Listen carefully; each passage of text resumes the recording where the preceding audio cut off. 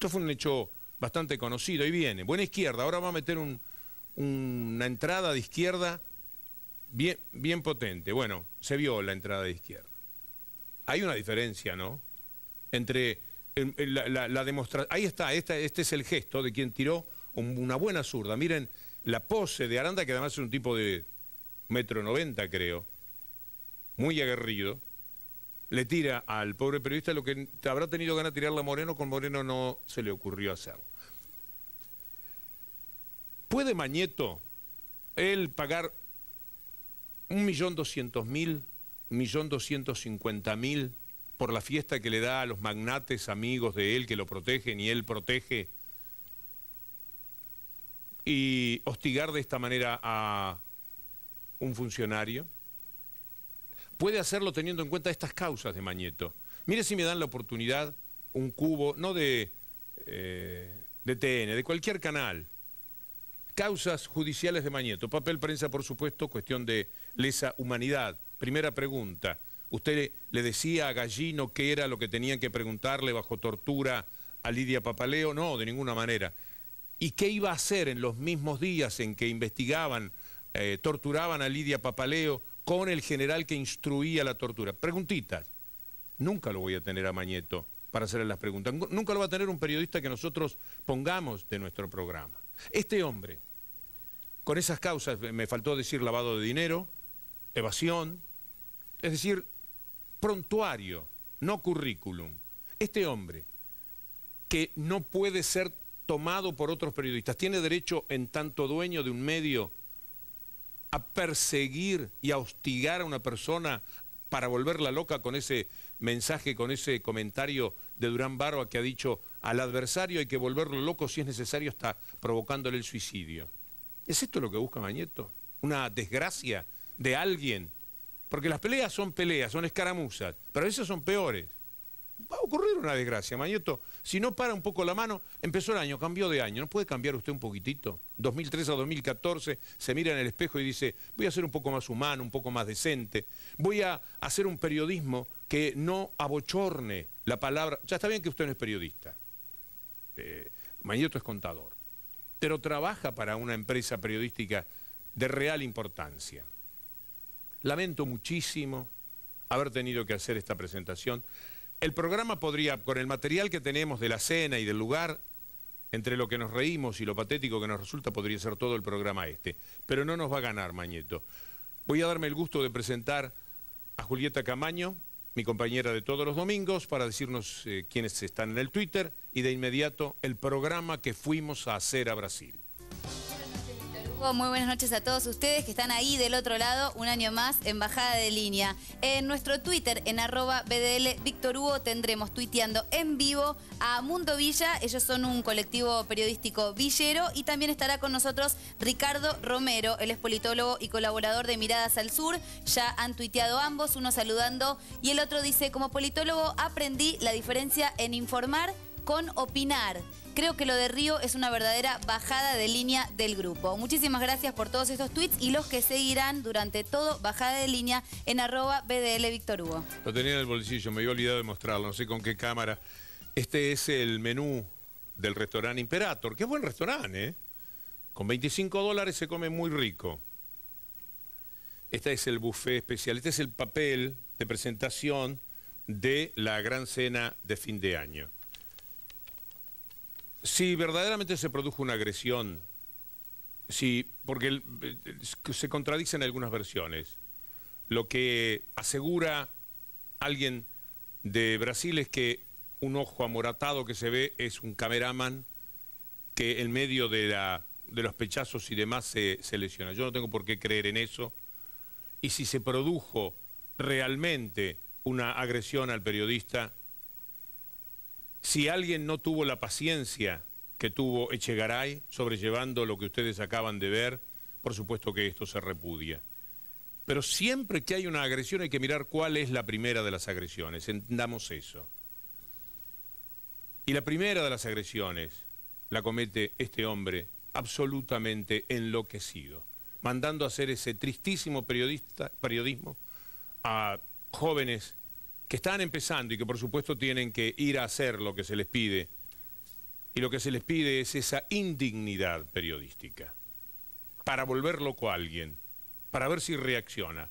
Imposible saber en el palabra contra palabra si ocurrió, si sucedió como cualquier golpe, como cualquier ataque, y ya no solamente por ser periodista, si eran menos, por ejemplo, además de periodista, por supuesto, que va todo el, el rechazo pertinente, pero anticipo a eso el dolor de que este jefe de patota periodística pueda asolar nuestras vidas, meterse como una sustancia, vieron esas películas de ciencia ficción, esas sustancias que de pronto se convierten en algo corpóreo. Así estamos expuestos. 400 informantes, uno de ellos es el que le avisó que Echegaray iba a Río. En todos los sitios, en las compañías de aviación, en todas las comisarías, eh, en los juzgados, en todos los sitios hay informantes que pueden ganar por la información que pasan entre algo muy modesto si solamente sirve para una notita y algo muy importante si sirve para una tapa de diario. Así están las cosas. A eso está jugando este señor. Pero desde ya, que uno reprueba cualquier conducta, sobre todo si es de mayorías contra minorías. El hombre calmo que ha sido Chegaray en estas notas pudo haber sido traicionado por personas que estaban con él. Esto no lo podemos determinar en el palabra contra palabra y en la negación que se ha hecho enfática. Eso sí, es extraño un dato, que no haya aparecido una policía. Mire, en las playas de Copacabana, si usted mira en, los parasoles, en todos lados hay cámara. No hay metro cuadrado de las playas de Copacabana o de Ipanema o de Leblón que no estén monitoreadas todo el tiempo. En el episodio del 31 de la noche, millones de personas caminando que saben que la policía está todavía más brava de lo que siempre fue la policía de Brasil. Una chica, estarían drogadas, borrachas, tomó a otra de los pelos. Veinte segundos habrán pasado. Por entre el público que se había parado a mirar, entraron en acción inmediatamente cuatro policías. No sé, nunca sabré de dónde salieron. Que en el aeropuerto pase algo una trifulca de esta naturaleza, que no haya aparecido un policía, tengo la esperanza, que no se haya filmado nada, porque Aranda, cuando se tira encima del fotógrafo, el fotógrafo, por lo menos tiene tiempo de tomarlo Aranda y dejarlo tan pegado como corresponde. Hubiera sido muy bueno, ojalá que encuentre el material al respecto, que muestre cómo fueron las escenas que se promovieron por esta violencia. Vamos a empezar el programa, por fin, fuimos con tanta ilusión a Brasil, mire con lo que hemos tenido que volver.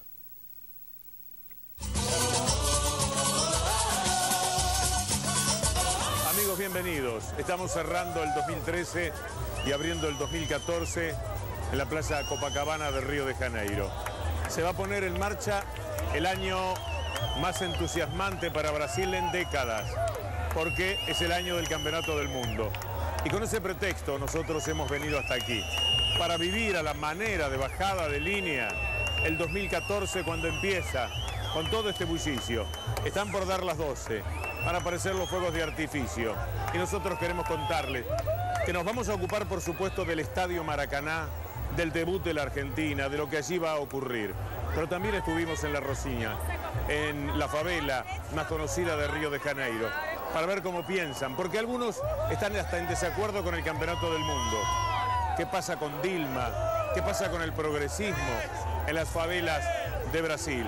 Y vamos a estar hablando de lo que es el periodismo brasileño, lo que en estos momentos significa el comportamiento del periodismo de Brasil. Todo esto es lo que estamos viviendo para ustedes en el comienzo del 2014, que se los deseamos con mucha felicidad, con una gran actuación argentina en el Campeonato del Mundo siempre con bajada de línea para brindar por ustedes, para brindar por la Argentina, por el Río de la Plata, para brindar por toda la humanidad. Cuando llega el Campeonato del Mundo, llega una fiesta. Y cuando esa fiesta se da, nosotros queremos estar desde el primer momento. Salud.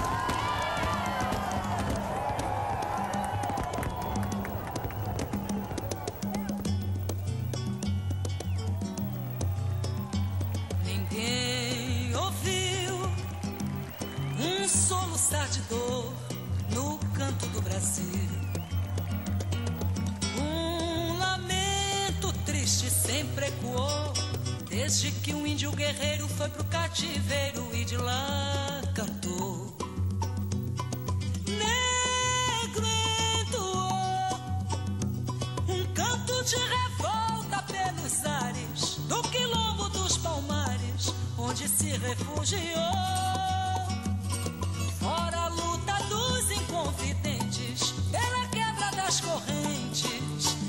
adiantou.